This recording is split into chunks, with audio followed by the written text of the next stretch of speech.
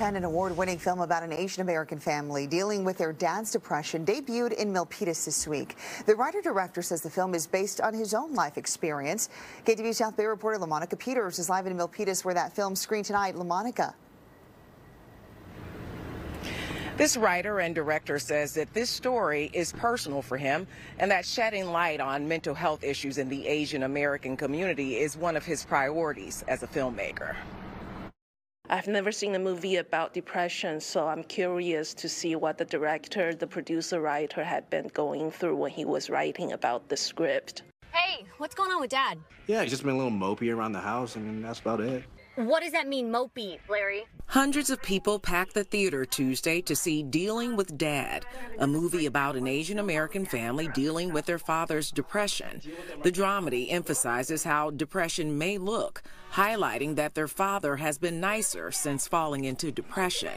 Dealing with Dad is the third feature film for writer and director Tom Huang, who grew up in Fremont. So the film was based on my experience trying to get my dad out of depression. It took about eight years, and part of the reason was I didn't understand what it was.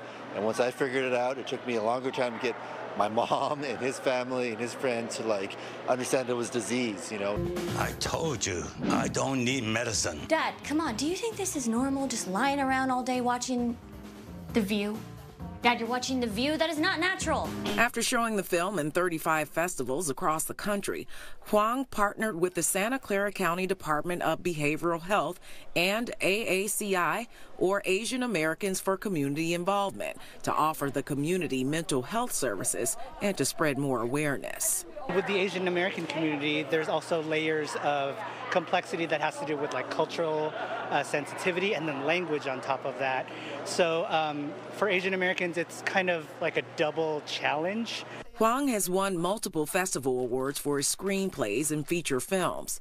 He's also written for shows on ABC, CBS, and UPN.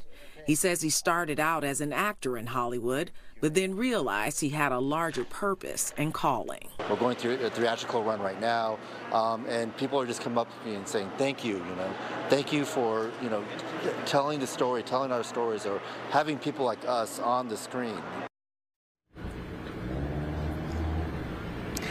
Dealing with Dad is now streaming on Amazon, Apple TV, Google Play, and iTunes. And if you want more information about this film, you can go to dealingwithdadfilm.com. Christina? Yeah, it's such an important topic. We wish him uh, much success. Monica, thank you for that report.